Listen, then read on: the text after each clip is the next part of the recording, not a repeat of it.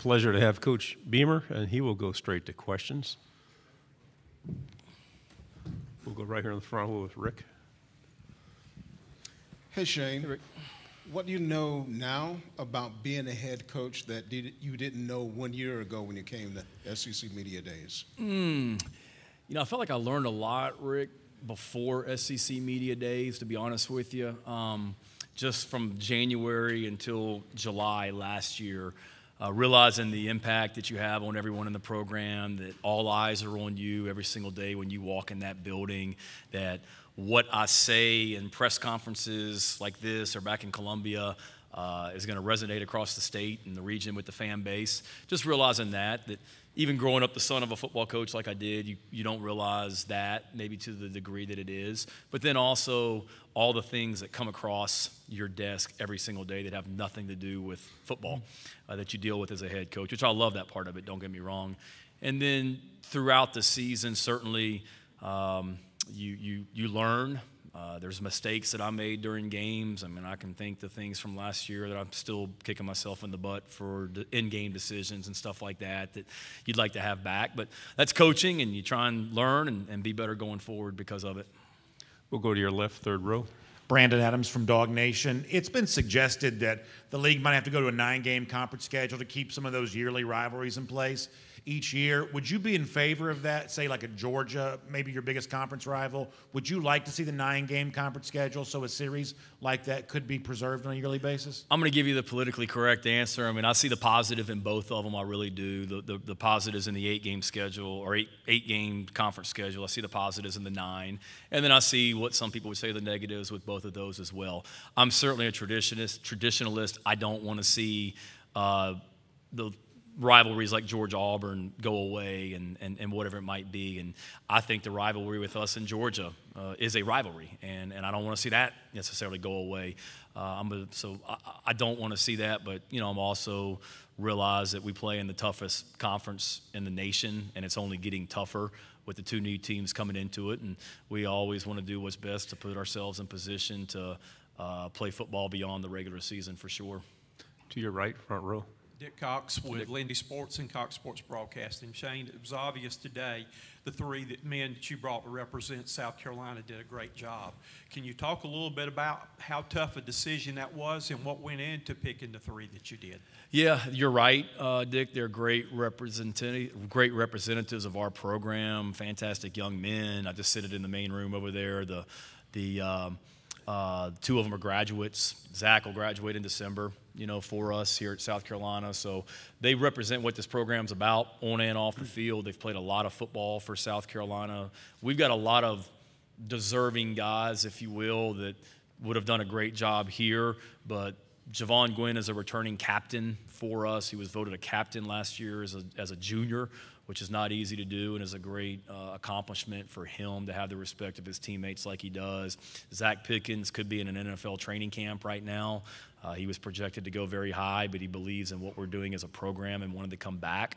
And then with Dakereon, this, his story and what he's done as a player is fantastic. So that was an easy choice to pick those guys. There's some other ones that would have been very, uh, uh, very deserving as well. That um, you know, people like uh, some of y'all thought I should have brought Spencer Rattler. We'll, we'll bring Spencer next year, all right, when he's a senior. So.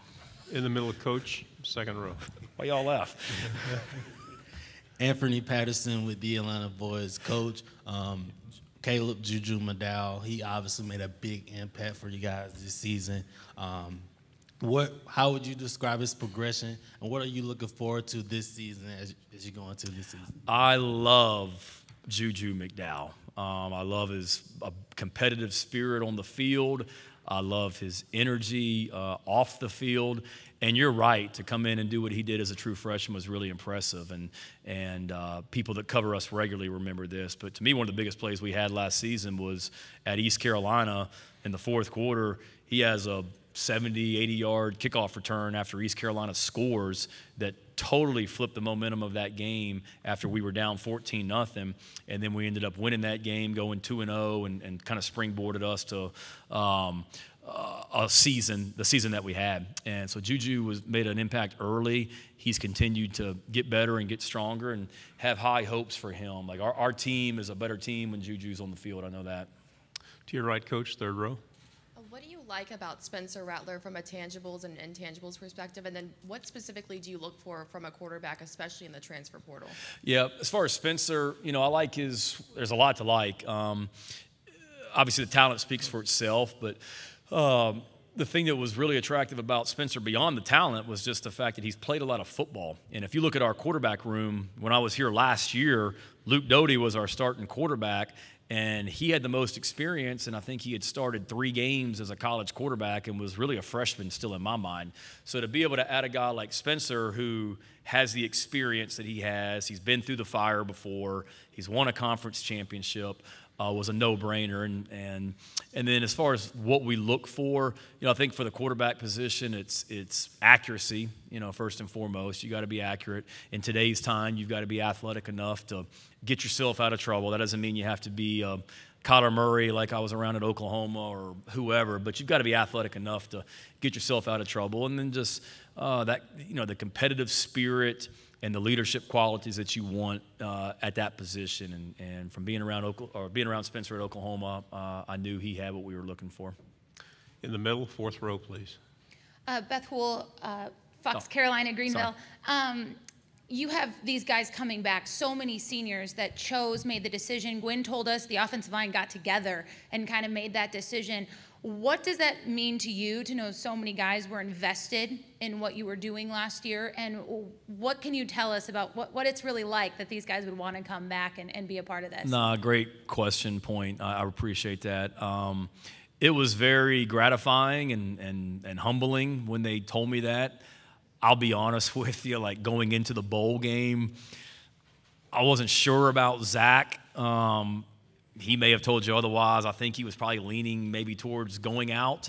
Um, but to, to the month of December is kind of a crazy time. You're getting ready for a bowl game. You're trying to sign a high school recruiting class. You're dealing with the transfer portal, and you're trying to figure out who on your own roster is opting out of bowl games, who's playing in the bowl game, who is leaving early for the NFL. So there was a lot going on. And uh, I remember meeting with those guys like Jovaughn and like Zacch and some other ones that I knew had decisions to make. And, and it was a pretty cool moment when Jovaughn, Gwyn, and the offensive line told me that they were coming back because they felt like they didn't accomplish what they wanted to accomplish and that they could be not only better players, but that they wanted to win more than seven games, but they also told me that they felt like they didn't do their job as leaders on the team last year. So that was pretty cool to hear. To hear. And then I remember we had the great bowl win over North Carolina, and and uh, Zacch and his mom, I think, were going to lunch the next day. And I remember driving in the car home from the facility, and uh, I think I got caught by train. You guys from Columbia will know that. And I was on the phone with him, and he was getting ready to go to lunch, and and it's kind of like I'm keeping my fingers crossed that that um, he's going to make the decision. That's best for him, but but hopefully he comes back. And when he decided to, that was a great moment as well. So it's it's a testament to what we're doing in the program that our players. Uh, saw last season what we're about that it's not just talk it's it's actions as well and and that they want to continue to be a part of it and they're in, they're in, they're enjoying it and and I told the guys down, the ladies downstairs, and guys, like, I want this program to be a place. Don't get me wrong; it's it's not easy being a football player here. It's hard work. It's demanding. You're held accountable. But I don't ever want our players to dread walking into our facility each day, and they don't. Uh, they they look forward to coming in there each day, and that's because of the people that we have in that facility. In the middle, back row.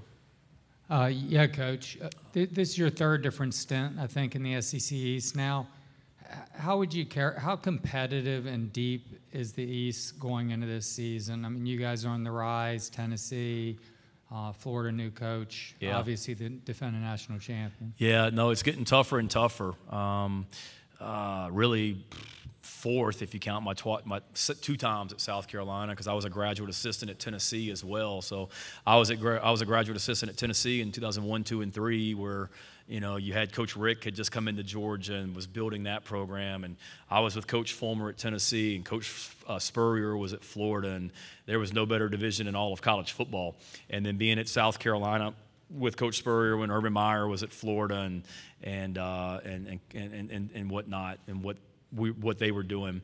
And then now being back the second time at South Carolina, it's only gotten better. Obviously, uh, Georgia is at a level that they've never been at right now from a recruiting standpoint, and just won the national championship. Uh, new coaches that came into the to the SEC East last season, and the impact that they were able to make in year one for sure. New coaches this year, you know, that have uh, won at won at a high level, you know, at other places that they've been as well. So uh, I think there's great coaches, and and this league is a great league from top to bottom, and and there's no question that the SEC East. Um, is, is very strong right now and only getting stronger. Right here, second row, and then pass the microphone to the aisle, and then we'll finish over here. So, Go ahead. Mike, uh, Mike Uva, Gamecock Central. Mike. Um, Shane, you know, whether fair or unfair, the offensive line took some scrutiny by some last season. You know, number one, how excited are you to be able to have all those starters back? And number two, something that was a little under the radar, but was reported last year, being able to have a, a healthy Greg Adkins, knock on wood, back, and just the importance that he brings to the team as an offensive line coach. Yeah, um, certainly when you return everyone on the offensive line like we did, I mean, that's a great uh, advantage for any program. And they've played a lot of football together. Uh, you know from playing football, like the continuity that you got to have on all, with all five positions. Those guys, uh, they work well together. Jovaughn and Eric Douglas and, and, and them, they've, they've had uh, they've played a lot of snaps. So to have those guys back and to come back hungry, and they got beat up last year, and, and there was certainly they'll be the first to tell you that they needed to uh, needed to play better. A lot of you guys that were, were at some of the Gamecock Club events that I did in the spring, and I said this at every Gamecock Club, and it's true. Like, it's easy when the running game doesn't look good to blame the offensive line. And it's easy when the quarterback gets sacked to blame the offensive line. Well, it's not always that simple. You know, sometimes the tight end may have missed a block, or a wide receiver should have come in here and pushed cracked on the safety, and he didn't, and the safety hits the running back in the backfield for a, for no gain. Or the quarterback gets hit in the back of the head. Well, we may have been in a pass protection where we were only protecting with five players, and the defense rushed six. Well, simple math tells you if the defense is bringing six and you only got five guys blocking for you, if you're the quarterback, you better get rid of the freaking ball. And that didn't always happen last year. So we got to be better as coaches, coaching that up. Uh, but the offensive line is a lot like the quarterback. Sometimes I think it gets too much blame and too much credit when things are bad and good. Uh, but I, I love these guys on the offensive line. They didn't miss a single practice during spring practice, not one. So 15 spring practices, and we didn't have a single offensive lineman miss a practice for an injury or anything. So they're tough, they're durable. Love that about them. And then to have uh, Greg Adkins back, I was with Greg as the offensive. He was the off. He was coaching line at Tennessee when I was a graduate assistant. He's got NFL experience. He's a great coach. Lonnie Teasley, who is an offensive analyst for us and, and is involved in our offensive line, is a fantastic offensive line coach in his own uh, in, in his own way as well. So excited about both those guys being back. In the aisle, on your right. Tyler Shaw with KBTX in College Station. Texas A&M is one of South Carolina's you know cross division games. What made playing against them so difficult?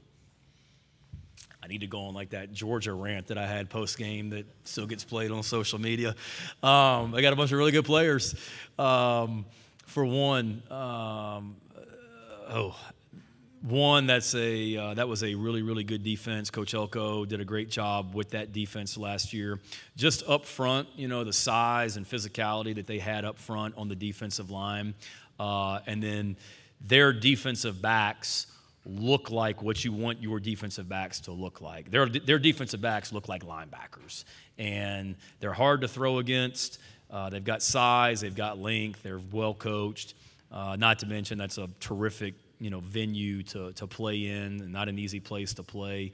Uh, so there's a lot of reasons they were they were tough to play against, and uh, but they've got great players and, and they're well coached, and um, that was not a that was not a fun fun night. First time to College Station for a game, so that was the positive, but that was a long night. Last question. Hey, Shane, Corey Miller, Fox, Carolina. Um, a lot of coaches don't like NIL, they don't like transfer portal, they don't like the Twitter aspect of college football today. Uh, you seem to embrace it. The video before you guys came down here was cool, blowing up Twitter. Um, you and Lane Kiffin leading the way in the SEC as far as coaches are concerned. How do you embrace and how do you deal with you know, that side of things and versus, you know, demanding them on the practice field and doing game days? Yeah, no, it's a great question, great point. You've played the game for a long time and no Um, for me, it's just be me. You know, I think sometimes they become guys become a head coach, and there's a certain way you think you're supposed to act because you're a head coach in the SEC. And I was never going to try and be somebody I'm not. And and I meant what I said. Like it's not easy being a football player in our program. And our players would tell you, like, we work really, really hard and they are held account- accountable and we are very demanding, but we're not. We're not disrespectful. We're coaching them hard on the football field, but we're not disrespectful to them. Uh, they know that we genuinely care about them. We use the word love in our program a lot. And sometimes that may make people uncomfortable. Not with us. Like we use the word love in our program a lot and have no problem telling each other that we love each other. And um, uh, that helps us grow together as a team. And, and the more that we can showcase our program, there's some great things going on in our program. There's some great people in our program. And being able to uh, highlight them uh, on social media like we've been able to do, I want to for sure. And, and there's a lot of negative talk about name, image, and likeness, and certainly there's things that need to change and be better about it. But there's a lot of guys on our team, three of the guys that are here today, or the three guys that are here today, that are using name, image, and likeness for the way that the law was intended. Uh, I mean, we got guys on our team that back in December took money that they had been able to bring in from name, image, and likeness and took underprivileged youth in Columbia on a shopping spree at Christmas so they could have Christmas gifts. Like, you don't hear about those stories as much as you hear some of the other stuff. So, does it need to be better? Does it are there things that need to be changed? Absolutely. I'm not saying that. Uh, no one loves the way it is right now, but there's also a lot of stories of uh, the good that's coming out of it as well. And, and then, the, you know, to answer your question, for me, it's just be me and, and, uh, I know how blessed I am to be in this chair. And uh, I mean, I, my, I was coaching at Mississippi State back in 2005, and my wife was working in media relations at Mississippi State. And the SEC Media Days were in Hoover, um, and she was there all week working. So I think she, we were engaged at the time, I think. But I drove, or maybe she was my girlfriend, I can't remember. But I drove to Hoover and took her to dinner one night. I remember dropping her back off at the hotel, thinking about, man, like how cool it'd be one day for me to be able to be in that hotel as a head football coach in the SEC. And here I am. So I'm sure it's going to enjoy it. And uh, it's a high pressure job. It's demanding. I get it. You're judged on what you do 12 Saturdays a year. And if you don't win football games, you get fired. But I'm going to have a hell of a time, you know, as long as I'm here at South Carolina. And I'm having a blast right now doing it. Thank you, Coach. Yep. Thank you all for all you do. Have a great week.